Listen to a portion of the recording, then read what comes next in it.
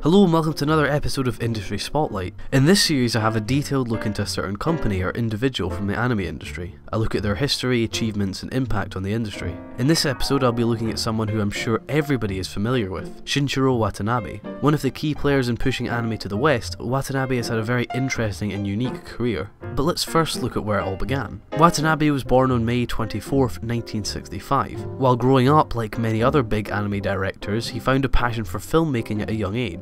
What was unique about Watanabe is that he had no interest in entering the anime industry. Instead, his early interests pointed towards European film. But as events planned out, he netted himself a job at Sunrise, one of the major anime studios at the time. He started out doing smaller jobs like episode director, scripts, and storyboard work for various Sunrise shows at the time. His talents were quickly recognised as he was given his breakthrough job, co-directing Macross Plus, a follow-up to one of the 80s most popular anime shows, Macross. There was a lot riding on this job as there had already been another failed attempt at a Macross sequel. There was Macross 2 which was slated by fans and eventually kicked out of the canon timeline. This was an important job for Watanabe, not only was it his chance to break into the industry, but a chance to work with a fantastic staff list, many of whom he would continue to work with in future projects. Macross Plus was extremely well received by fans of the franchise and critically acclaimed for its great use of modern animation. It was a few years later that Watanabe would get to direct his first solo show, and to be honest could be considered one of the best directorial debuts in all of anime. Cowboy Bebop was released in 1998, but despite its current reputation as a loved classic, its initial release wasn't as smooth.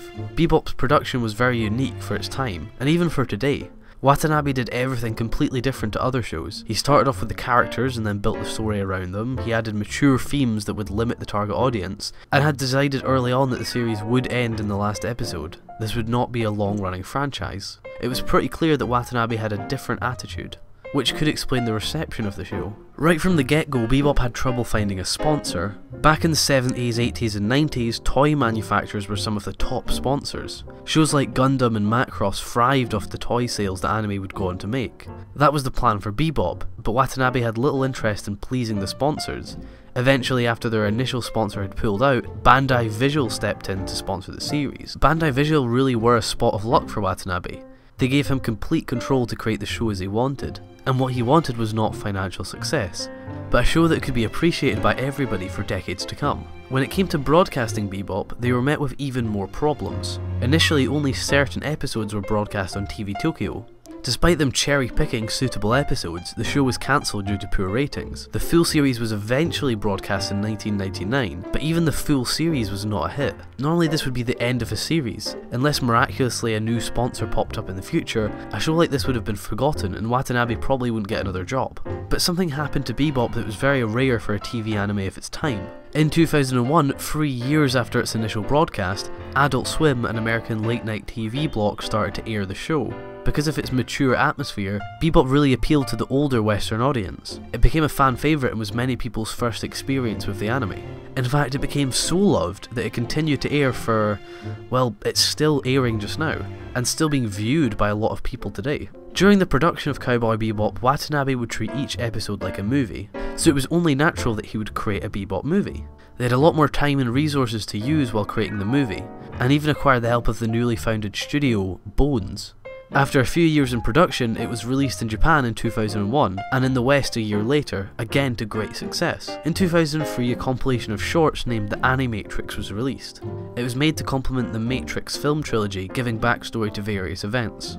The creators of The Matrix were heavily influenced by anime, and Watanabe was very popular in the West, so it was a no-brainer to have him on the project, and he directed two of the nine shorts.